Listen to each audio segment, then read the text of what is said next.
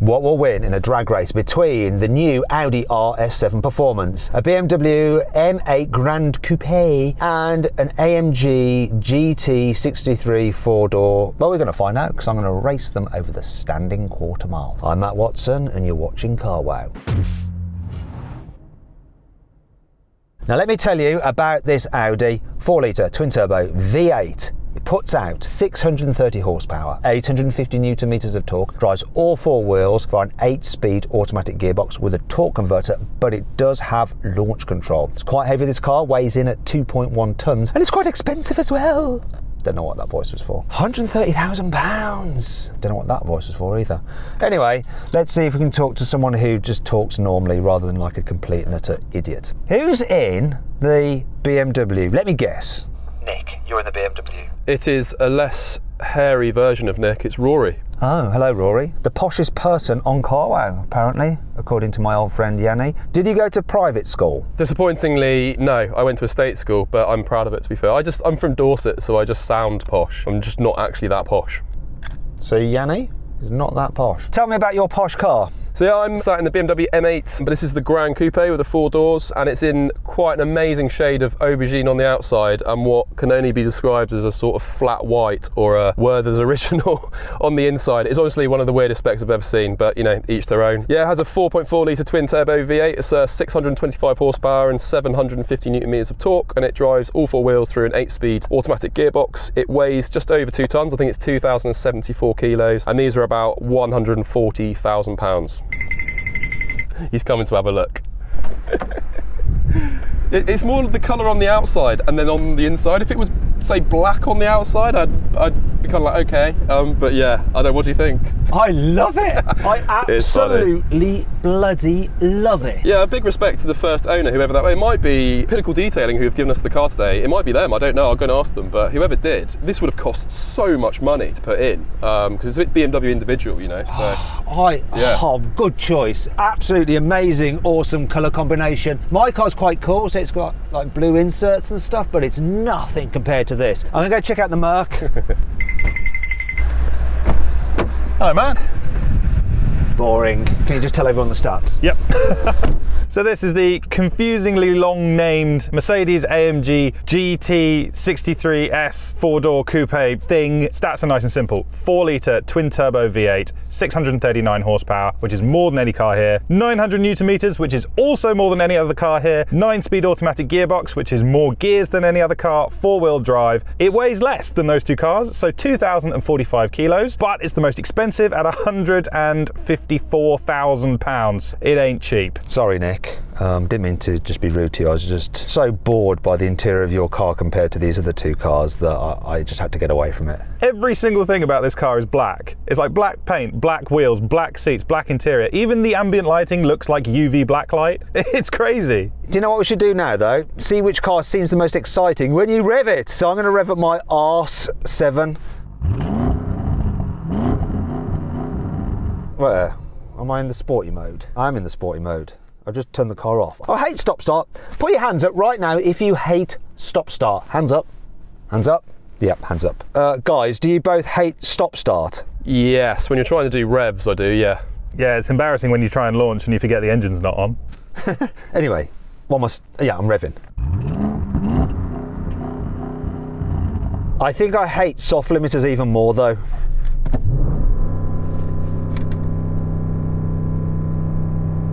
Rubbish. Go on BMW, I'm sure you don't have a softie. Big old softie at four and a half. What is the world coming to when even BMW has a soft limiter? Okay, Nick, let's hear your Merc. Oh, pops and bangs though. Yep, 4,000 RPM soft limiter, but a couple of pops and bangs. Don't know, it doesn't really make up for it though, does it? Sort of did a bit. It, it, wins, as far as I'm concerned. Now, if you like this kind of stuff and you want to see some more drag races, make sure you're subscribed to this channel and hit the bell icon to turn your notifications on. That way, you won't miss a single upload. Shall we get on with the racing? That's stop start. You absolute. How'd I turn you off? It's not RS mode. Why I've got bloody stop start. Turn. What the freaking Ah! Anyway, let's race. Three, two, one. Oh, beauty. This feels so much quicker than the old RS7. I've been left for dust. Oh, that Audi's done me. What's going on? Come on, AMG.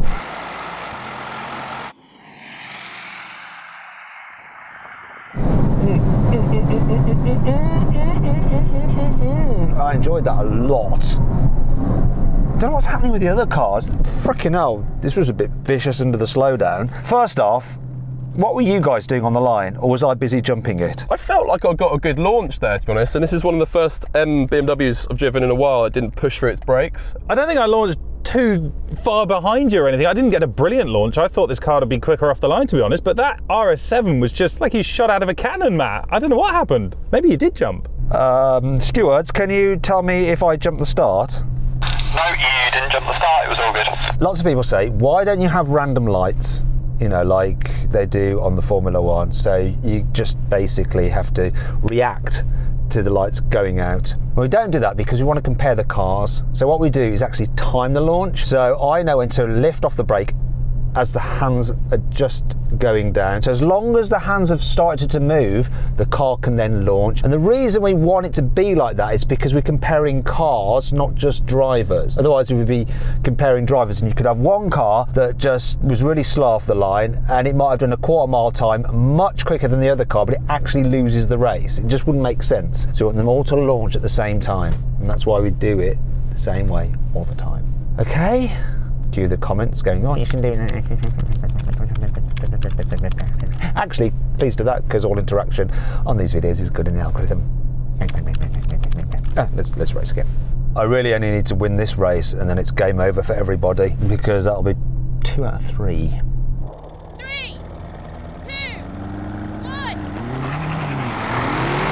one. Mercedes leapt ahead of the beam, but I can't even say I'm too excited. Yes, please.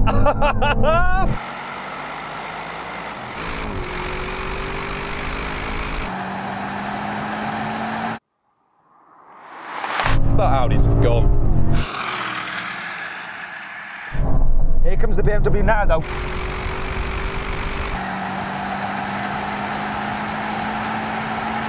Whoa, it's always gaining.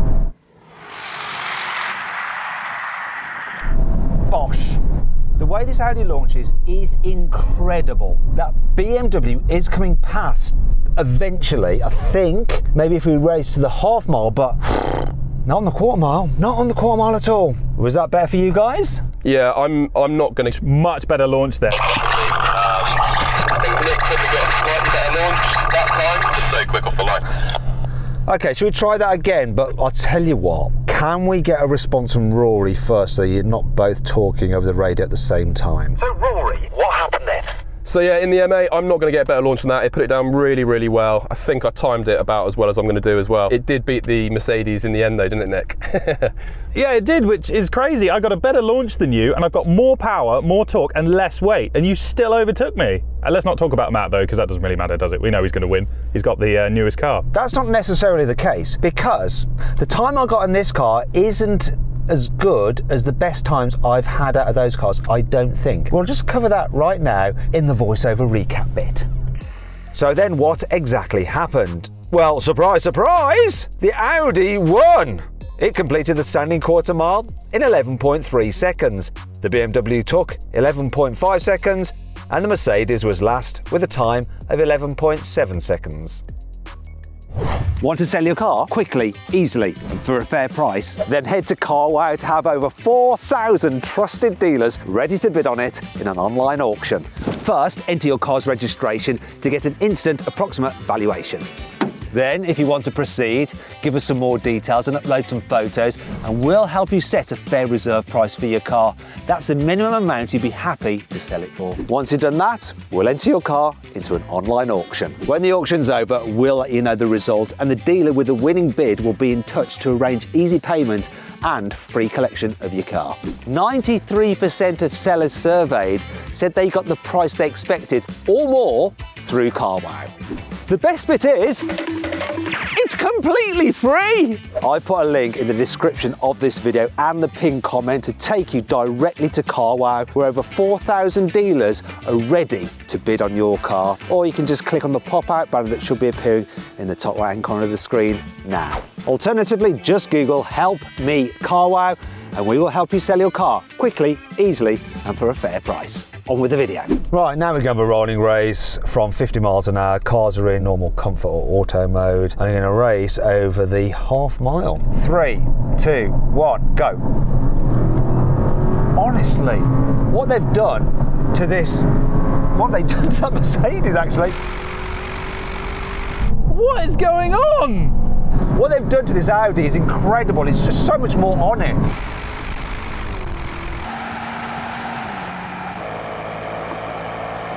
Oh, I thought the BMW would have me here, but it's not.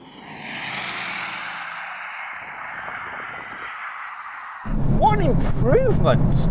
In the past, the Audi was always the one getting its ass whooped by the BMW and the Mercedes, but it's just completely changed with this car, this performance. Wow! I'm going to go to you first, Nick. Did you have a bit of a nightmare? Yes, I did. I was expecting to feel all smug because I know this has that snappy multi-clutch 9-speed gearbox, but comfort mode in this, I would put money on it not giving you the full beans, the full 639 horsepower, because I got destroyed. What surprised me there, though, Rory, was I was expecting the BMW to, you know, maybe head off at about the same time and then just roll away with it, but it wasn't the case. I did think I would at least kick down sooner than you, and then you might come past, but you actually just seemed to kick down sooner and went off into the sunset. So yeah, not great for me. I have got a bunch more torque, you know, like I got 100 newton meters more. That might have something to do with it. But BMWs always overperform for their numbers, and I'm so used to a BMW just like on these longer races, just edging past. Yeah, well, I think We saw with the RS6, didn't we? Um, and the RS4. Do you know what? I think we've probably just had enough chat for now. The editors are going to cut it out anyway because it's just boring and people will be clicking out the video. So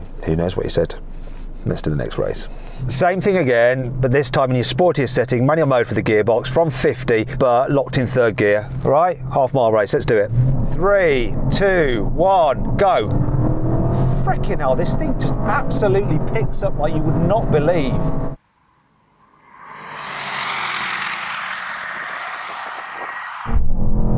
This is not right. Now this is where I'd think the BMW will come past, but I'm gapping him. no, he's doing it again. Where is that Merc?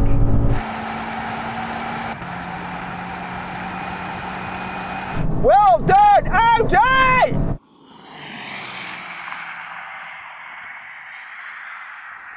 Yes, you've nailed it with this car. Freaking love it. It's got all the goodness of the previous RS7, superb comfort, very quiet, luxurious. But my God, now this engine absolutely hauls ass and it feels like they've done way more to it than just 30 horsepower. This is the best 30 horsepower ever. We don't need to discuss that too much. BMW, I beat you. Mercedes AMG, you weren't even in it. That again felt like maybe 400, may 450 horsepower. I, I don't think it's well. I think there's something slightly wrong with it. Okay, let's just do one more race and see what happens, all right? I mean, it wasn't terrible in the standing starts. It was all right then. Maybe take it for a bit of a cruise up there, mate, and just come back and switch it off, off and on again. I've got some fancy race gauges on here that no one's ever going to use, and one of them does say horsepower and newton meters. I'm going to keep half an eye on that this time to just see if even it thinks it's underperforming. Why don't you just drive up the runway now and see?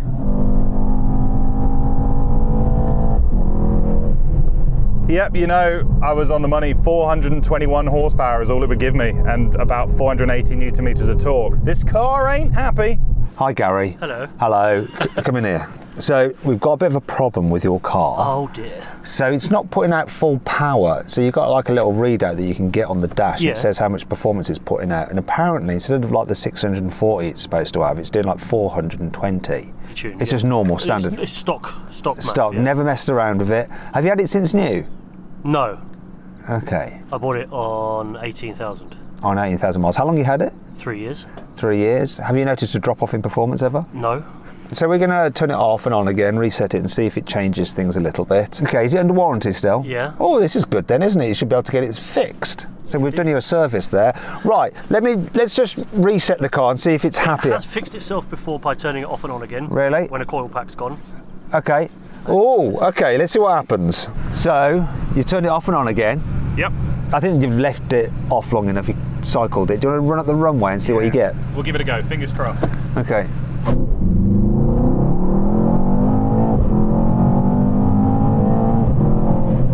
We seem to have full beans back again. Do you think that was running low power on the drag race or not? I couldn't tell you for certain. I expected this car to be quicker. It didn't feel as down on power in the drag as it did in the rolling races. It was noticeable in the rolling races, but not so much in the drag. So there's a chance, but I, I wouldn't want to say for certain. Do you know what we should do then? I reckon we need to have another drag race just to be sure. But let's do that at the end of the video. Let's continue with these rolling races for now. So let's do a rolling race from second gear at 30 miles an hour, Nick, and hopefully your vehicle will perform. Three, two, one, go. Oh, the pickup is insane on this.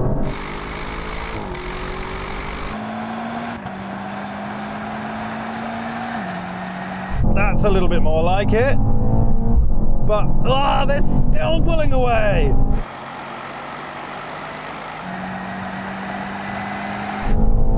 That's so frustrating. Oh no. Yeah, I don't know, Merc still doesn't seem that fast. Oh, what? Hey!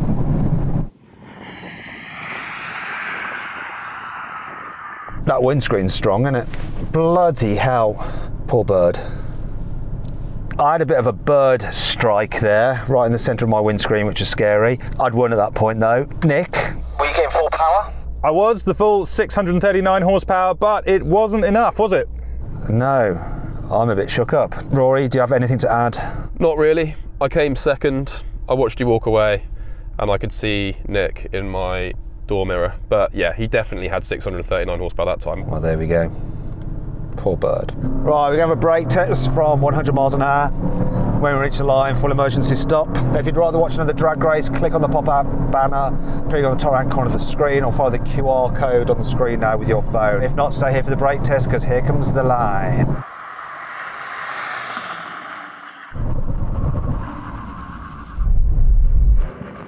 Come on, come on. Where is it?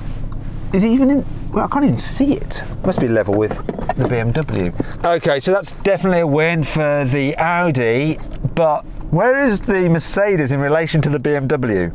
I'd say he's probably two meters ahead of me, so I beat him just.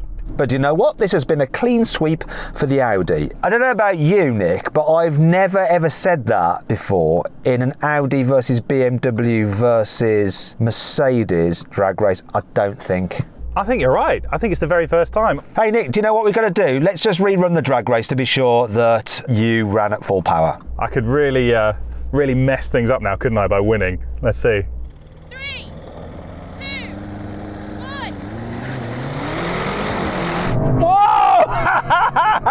That's interesting. Yeah, definitely full power now. Nah, nah.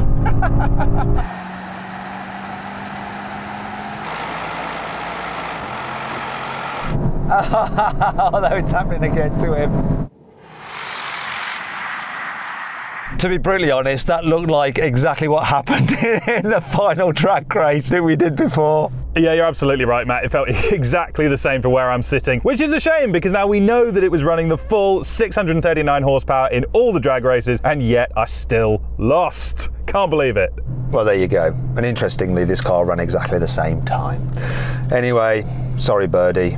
I hope you enjoyed the video though, despite that bit of carnage. If you want to watch some other videos, click on the video windows. And if you click on the Carwow logo, you can go to Carwow to check out how these cars quarter mile times compared to everything else that we've ever drag raced and to see the other times that we've had in those two cars, all right, in the past. Thanks for watching. I'm going to get someone to clean this off now because I'm not going to do it. It'll make me go.